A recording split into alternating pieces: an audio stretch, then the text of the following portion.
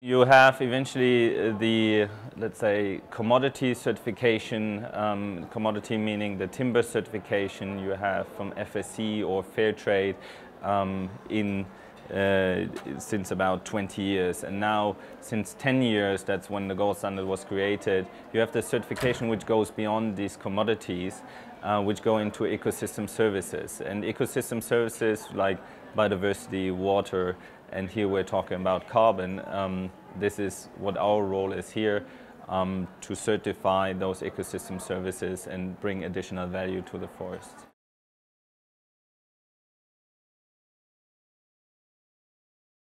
That's correct, but I would um, I would even argue that the the entire carbon world, although uh, the individuals understand if I'm planting a tree, it's absorbing the carbon and it's carbon neutral because of this. I would say the market is uh, a B2B market, a business to business market. So it's really uh, the companies who have to first of all reduce their emissions and second of all if they can't reduce it uh, fully because we're still flying we're still using cars with fossil fuel they then they can go carbon neutral by buying carbon credits for example yeah.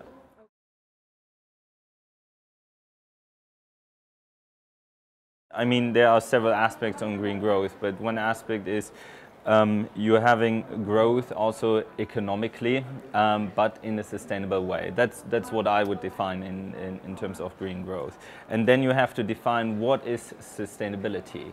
And we're acting, Gold Standard is acting on behalf of 80 NGOs around the world, and they're defining eventually the rules we're, we're creating. So they're defining what sustainability means today for them. This is changing over time. We can also see this in other standards like FSC. After 20 years, they had to revise their thinking of sustainability. Um, and, um, and so this is, this is what we are. We're eventually a melting pot for NGOs to be defining sustainability for the carbon sector.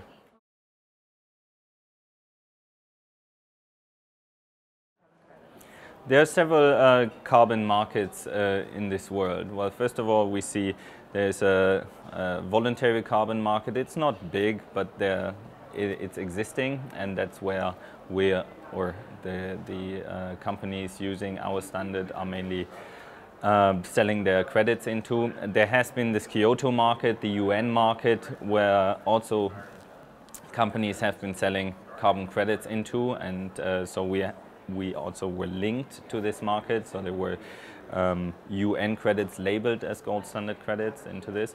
And then you see emerging smaller markets, national markets, like in, in Chile or like in South Africa or in China. And uh, also here we are uh, engaging with the governments, um, so later on they're using our standards within those smaller markets. At the moment you have this small voluntary market, so you would have to look for buyers yourself. Um, it's not a, a, market at the moment where you could sell into uh, right away. Um, so at the moment it's quite difficult, in my opinion, uh, to to um, to get this value which you get out of the carbon credits to really monetize this really uh, really fast. But I hope um, that step by step the, these compliance markets which we had in the UN or which are happening then in these uh, emerging national markets is hopping back in, which means then later on that you would be able, if you would be doing an afforestation project in Chile, you could be selling into a national market and monetize this. And then it's working again. So we are setting at the moment the rules but maybe they will only be applied in a couple of years um, in certain in certain markets.